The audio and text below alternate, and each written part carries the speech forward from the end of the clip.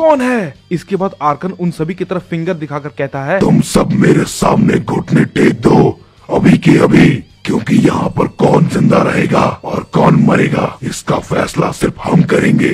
और फिर इसके बाद हम देखते हैं कि वो अचानक से क्रिलिन पर हमला कर देता है, जिसकी वजह से क्रिलिन मारा जाता है। वेजिटा इसे देखकर कहता है, ये तो बहुत ही ज़्यादा तेज है। मैं तो इसके हमले को देख भी नहीं पाया। इसके बाद गोहान कहता है, आखिर ये कैसी ताकत है? मैंने ऐसी भयानक ताकत पहले कभी नहीं देखी। और वहीं दूसरी तरफ़ हम जिनोसामा के पैलेस पे देखते हैं। ग्रैंड प्रिस्ट गोकू से कहते हैं, आखिर आप क्या करने वाले हैं गोकू सामा क्या आप अपने दोस्तों की सहायता करेंगे? इसके बाद गोकू कहता है, नहीं, अभी नहीं ग्रैंड प्रिस्ट अगर मैंने उन सब की अभी मदद कर दी तो वो सब मुझ पे डिपेंडेंट हो जाएँगे। मैं चाहता हूँ कि वो लोग इस मुसीबत का सामना खुद करें, क्योंकि अगर उन्होंने ऐसा नहीं किया तो उनकी ताकत कभी नहीं बढ़ेगी। लेकिन अगर हालात ज़्यादा खराब हो गए तो मैं ज़रूर उनके पास जाऊँगा और उस शैतान को खत्म कर दूँगा। और तभी हम देखते हैं कि प्लेनेट अर्थ पे वेजिटा आर्कन पे अपना हमला करना शुरू कर देता है। लेकिन हम देखते हैं कि आर्कन वेजिटा के हमले को बहुत ही आसानी से रोक लेता है और बहुत तेज़ी से आकर वेजिटा पर हमला करता है। वेजिटा उसके हमले को देख नहीं पाता और बहुत ही दूर जाकर घायल होकर गिर जाता है। इसके बाद गोहान आर्कन पर हमला करने की कोशिश करता है, लेकिन आर्कन उस पर हमला करके उसे पैरालाइज कर देता है और गोहान कुछ भी नहीं कर पाता।